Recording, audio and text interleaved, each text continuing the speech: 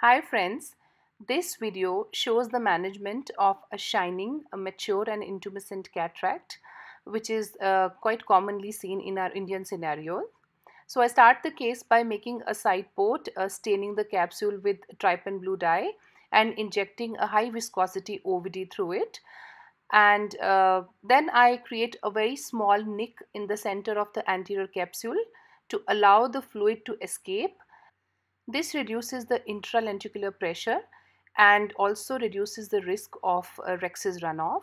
However, you still have to be very careful and uh, what I like to do is to make a primary rhexis first which is of a smaller size. I usually aim at a size of about 4.5 uh, millimeters or so. At this point, it is important to make sure that the anterior capsule is always uh, flattened uh, using the cohesive viscoelastic. If you are able to complete the rhexis in one go, uh, well and good.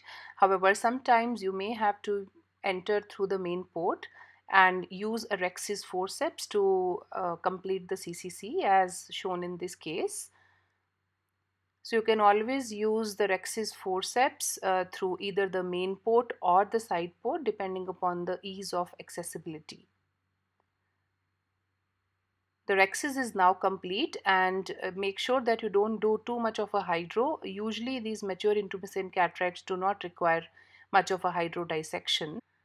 For phacoemulsification, direct chopping techniques are preferred over trenching techniques such as the stop and chop and divide and conquer uh, techniques. These are known to cause more stress on the zonules and would also lead to higher consumption of the ultrasound phaco energy which could potentially lead to damage of the endothelium and delayed visual recovery due to postoperative edema. Now, when you are separating the fragment, it is okay to stay a little superficial. Just hold the fragment with the phaco probe using a slightly higher vacuum setting and place your chopper slightly deeper into the groove and then use it to separate the fragment very gently without causing much of a lateral separation.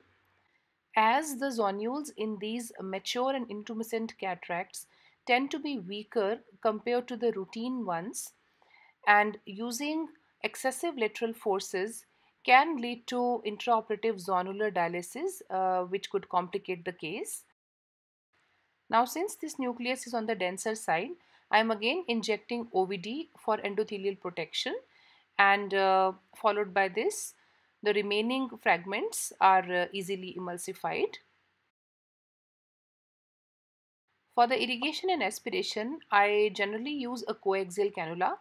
However, in these cases where the rhexis is on the smaller side, I generally like to use a bimanual IA system as the cortical cleanup can be performed more thoroughly using this.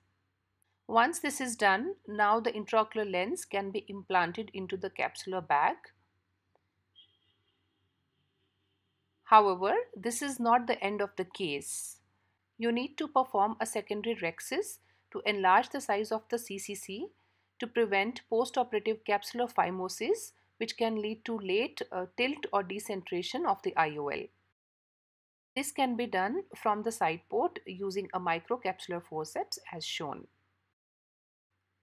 Finally, the OVD is evacuated from the anterior chamber and this brings us to the end of this case. Thank you for watching.